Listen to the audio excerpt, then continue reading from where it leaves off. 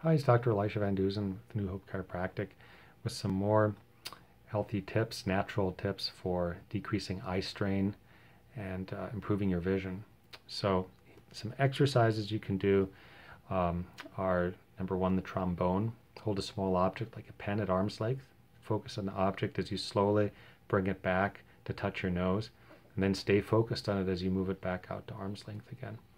Eye massage is also really good. Using your fingertips, apply some gentle, steady pressure or do a circular massage to the areas around the outside of your eye sockets, and this can help ease tension and relax your facial muscles.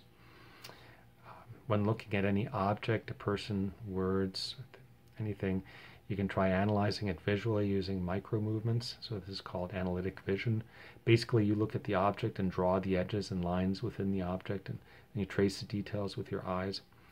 And the idea is to move quickly from element to element so that you're not starting and uh, trying to focus on, on any part in particular. Blink freely as you go and then look at the object as a whole to see if it appears clearer.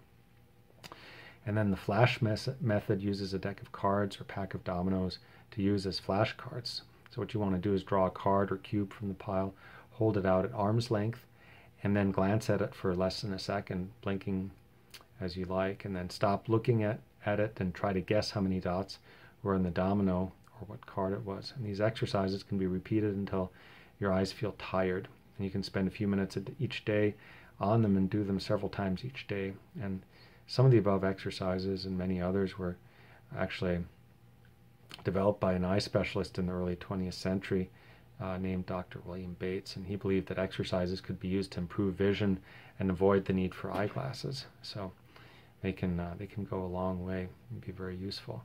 And then in terms of uh, some supplements that you might want to use for um, eye conditions, blurry vision, and eye strain, um, these supplements can be very, very helpful, and they include things like vitamin B1, thiamine, um, vitamin C, and vitamin E is very important. Selenium is good, zinc, lutein, calcium, folic acid, omega 3 fatty acids, beta carotene, and zeaxanthin. Those are all really, really good uh, antioxidants and vitamins that can be found in diets heavy in green vegetables and proteins, so green leafy vegetables and eggs have lutein and uh, zeaxanthin. Um, citrus fruits and many vegetables have vitamin C. Um, eggs and cold water fish, nuts, and olive oil or flaxseed have healthy fatty acids and protein. Uh, green leafy veggies, beef, and legumes have zinc. Sweet potatoes and nuts have vitamin E. So these are all really good foods to eat and also supplements um, to purchase as well.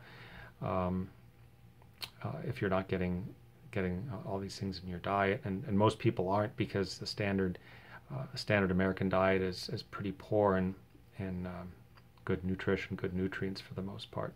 So you might want to consider purchasing some of these supplements uh, separately, um, even if you're eating a good diet, and uh, we can definitely um, point you to some good sources of these supplements and and provide some great supplements for you in our office. So just check us out at newhopechiropractic.com and um, we'll be happy to steer you in the right direction, help you with these vision exercises, or also um, get some of these supplements for you. And with that, I hope you have a healthy day. Bye bye.